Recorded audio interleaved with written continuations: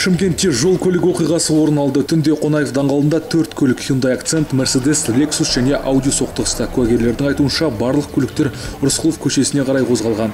Hyundai жүргізушісі қозғалыс жолағын ауыстыру үшін маневр жасап мерседеске соқтығысқан. Ол инерциямен лексус пен аудиді соққан. Қатты соққыдан лексус пен ауди жол жиегіне шығып кеткен. Оқиғадан зардап шеккендер жоқ. Шымкентте бойжеткен жүріп келе жатқан көліктің люгінен шығып тұрған видео әлеуметтік желіде тарай бастады. Оқиға 11 наурыз күні болған. Полиция қыз бен жүргізушінің кім екенін анықтады. Аталған құқық бұзушылық үшін айыппұл көлемі 5 айлық есептік көрсеткіш мөлшерін құрайды. Ұлттық қауіпсіздік комитеті қазақстан республикасына есірткінің ірі партиясын әкелу әрекетінің жолын кесті. Наурыздың алтысы күні жібек жолы бақылау өткізу бекетінде шекара күзеті шетел азаматы басқарған көлікті тоқтатқан. Көлікті тексеру барысында жанармай багына жасырылған 14 келіге жуық есірткі және психотроптық заттар табылды. Оның ішінде 5 келі 290 грамм героин 792 грамм апиын 5 келі 335 грамм гашиш 1 келі 962 грамм синтетикалық есірткі. Осы факті бойынша сотқа дейінгі тергеу жүргізілуде.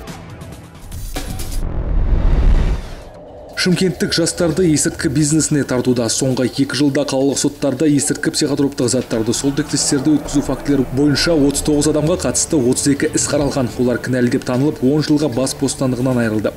Талдау негізінде жүргізілген құқық бұзушының әлеуметтік портреті психотроптық заттардың заңсыз айналымына байланысты заңсыз әрекеттерге негізінен 20-25 жас аралығындағы жұмыссыз жастардың тартылғанын көрсетеді.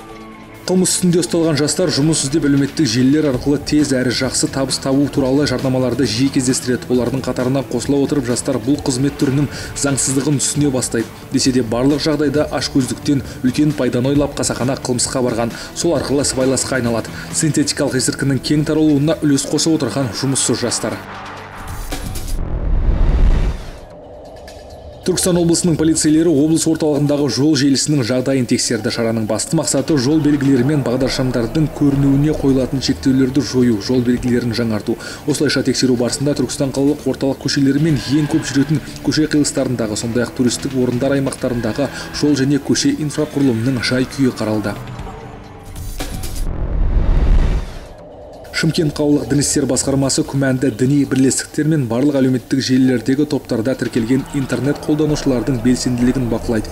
Интернет кеңістігінде радикалды діни материалдар таратылған және сақталған жағдайда қылмыстық кодекстің мынадай баптарына сәйкес әлеуметтік ұлттық рулық нәсілдік таптық немесе діни араздықты қоздырған үшін жауапқа тартылады. Әлеуметтік ұлттық рулық нәсілдік тектік топтық немесе діни алауыздықты қоздыруға азаматтардың ұлттық ар намысы мен қадір қасиетін не діни сезімдерін қорлауға бағытталған қасақана іс әрекеттер сол сияқты азаматтардың дінге тектік топтық ұлттық рулық немесе нәсілдік қатыстылығына егер бұл әрекеттер азаматтардың дінге тектік топтық ұлттық рулық немесе нәсілдік қатыстылығына байланысты айрықша артықшылығын не кемістігін насихаттау жария түрде немесе бұқаралық ақпарат құралдарын немесе телекоммуникация желілерін пайдалана отырып сол сияқты әдебиеттерді немесе өзге де ақпарат тасығыштарды дайындау немесе тарату жолымен жасалса әлеуметтік ұлттық рулық нәсілдік таптық немесе діни алауыздықты насихаттаушылар 12 жылдан 20 жылға дейінгі мерзімге бас бостандығынан айыру жазасына кесіледі.